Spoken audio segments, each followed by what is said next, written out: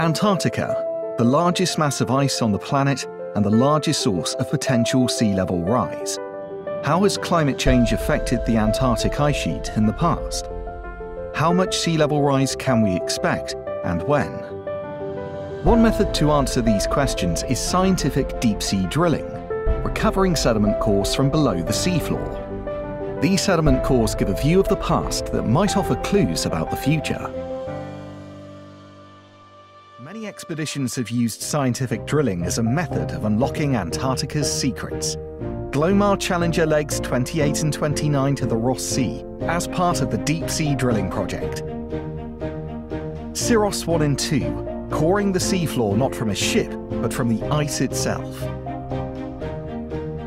Ocean Drilling Program Expeditions 113, 119 and 188 to the Weddell Sea and Prydz Bay. Leg 178 to the Antarctic Peninsula.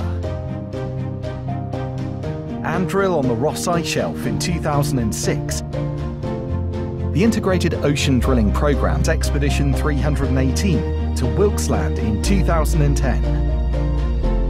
And most recently, Expedition 374 to the Ross Sea in 2018 with the International Ocean Discovery Programme.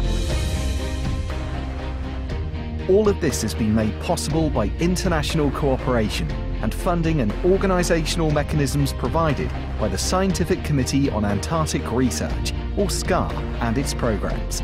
Watch the full video to learn more about the history of the massive international effort that is Antarctic scientific drilling.